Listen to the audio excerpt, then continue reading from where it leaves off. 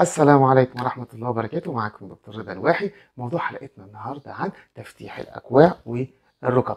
الطبيعي إن أي غمقان أو اسمرار في الجسم بيكون سببه زيادة نسبة الميلانين في الجسم وبالتالي لما بنستخدم له أي حاجة للتفتيح سواء كانت كريمات من الصيدلية أو وصفات طبيعية فبتقل نسبة الميلانين فبيحصل التفتيح. أما في حالة الأكواع والركب فالاسمرار بيكون نتيجة تراكم طبقات الجلد الميت على بعضها وبالتالي بيؤدي إلى الغمقان والاسمرار وبالتالي لو استخدمنا معاه أي كريم تفتيح مش هيجيب معاه أي نتيجة بالعكس ممكن يجيب نتائج عكسية وخصوصا لو استخدمنا كريمات التفتيح القوية اللي بتحتوي على مادة الهيدروكينون 4 في المية طبعا نعالجها إزاي؟ السبب الرئيسي لتراكم طبقات الجلد الميت على الأكواع والركب واللي بيؤدي إلى الإسمرار والغمقان هو الاحتكاك وبالتالي نتجنب احتكاك الأكواع والركب بالأجسام الصلبة أو الخشنة. كمان نتجنب لبس الملابس الضيقة لانها بتؤدي إلى احتكاك وبالتالي بتؤدي إلى تراكم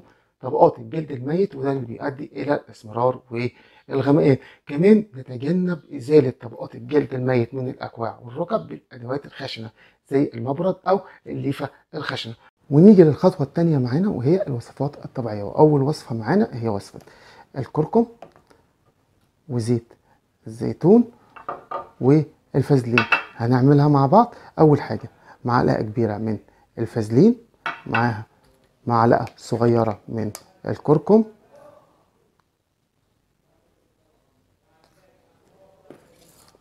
ومعلقة كبيرة من زيت الزيتون.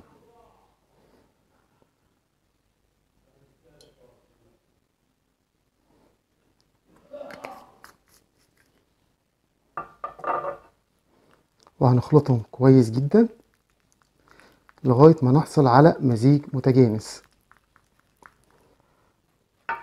وده الشكل النهائي للوصفة بتاعتنا النهارده. طب هنستخدمها إزاي؟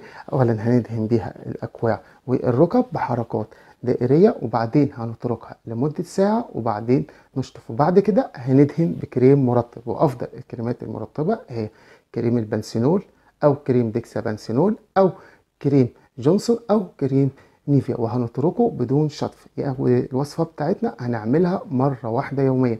مرة واحدة يوميا لمدة ساعة وبعدين هنشطف بماء فاتر وبعد كده نحط الكريم المرطب وهنتركه بدون شطف. وإن شاء الله خلال أسبوع على الأكثر بينتهي غمقان واسمرار الأكواع والركب نهائيا. ونيجي للوصفة التانية النهاردة وهي بتتكون من اتنين معلقة كبيرة من السكر معلقة قهوة واتنين معلقة كبيرة من زيت الزيتون. نعملها مع بعض. دول اتنين معلقة سكر. عليهم معلقة كبيرة من القهوة. واتنين معلقة كبيرة من زيت الزيتون.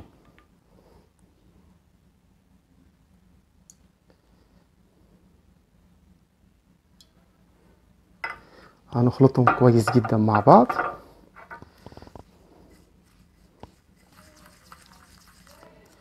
وده الشكل النهائي للوصفة بتاعتنا النهاردة. طب هنستخدمها إزاي؟ هنعمل بيها سكراب الاكواع والركب لمدة دقائق وبعد كده هنتركها لمدة ساعة وبعدين نشطف بماء فاتر وبعد ما نشطف هنضع الكريم المرطب. وزي ما قلت أفضل الكريمات المرطبة هو كريم بنسينول أو ديكسا بنسينول أو كريم نيفيا أو كريم جونسون. وهنترك الكريم بدون شطف.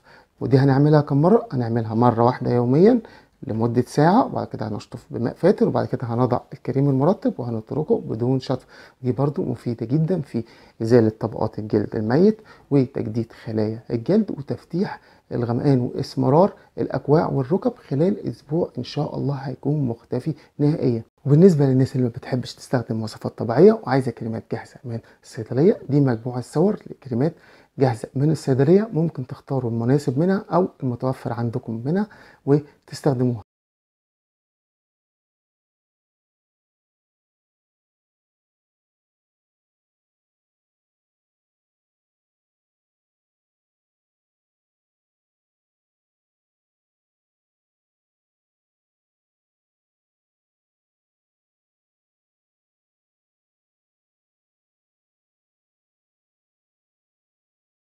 طب هنستخدمهم إزاي؟ هنختار كريم منه وهنستخدمه ثلاث مرات في الأسبوع ثلاث مرات في الأسبوع. هندهن بيه الأكواع الركب وهنتركه لمدة ساعة وبعدين نشطف. وبعد ما نشطف هندهن بكريم مرطب. وزي ما قلت أفضل الكريمات المرطبة كريم البانثينول كريم بيكسا بانثينول كريم النيفيا أو كريم جونسون وهنترك كريم الترطيب بدون شطف كده يبقى استخدمنا الكريم ده ثلاث مرات في الأسبوع. والترطيب هنستمر عليه طول أيام الأسبوع.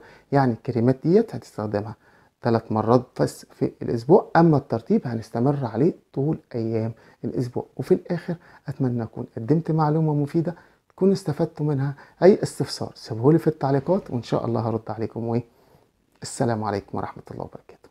إن أعجبك الفيديو لا تنسى الإعجاب والاشتراك في القناة.